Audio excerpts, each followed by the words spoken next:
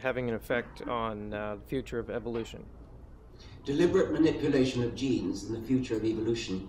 Um, the Darwinian algorithm has two parts to it. There's, there's random mutation followed by non-random selection.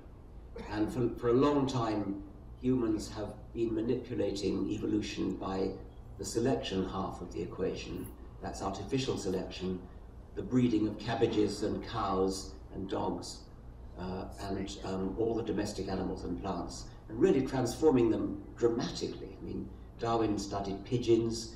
Uh, if you look at cows, if you look at dogs, to, to think that a Pekingese is actually a wolf uh, is an astonishing thought, and it shows the power of selection, in this case artificial selection, but only, it's only very recently that we've been able to manipulate the other half of the Darwinian algorithm, the mutation half. So genetic manipulation is artificial mutation in, in effect. Uh, and um, it's producing already some, some dramatic effects. The transplantation of genes from one kingdom to another in some cases, um, because since the DNA code is universal, it's, it's just like copying and pasting a, a, computer program from one, if you, if you need to solve a square root or something, you copy and paste from another program. Or you can copy and paste paragraphs from one book and put them into another. Um, and you can do that with DNA because DNA will work. It doesn't, it doesn't care. Fish DNA doesn't care if it suddenly finds itself in a cat.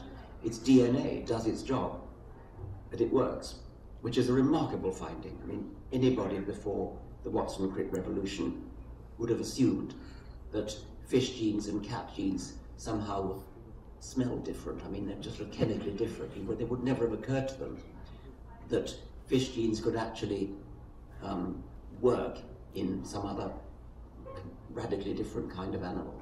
And they can, because it's just DNA, and the, the, the machine code is identical. Um, so it's a very, very promising technique. Um, it uh, will no doubt revolutionize agriculture, medicine, uh, possibly even human evolution.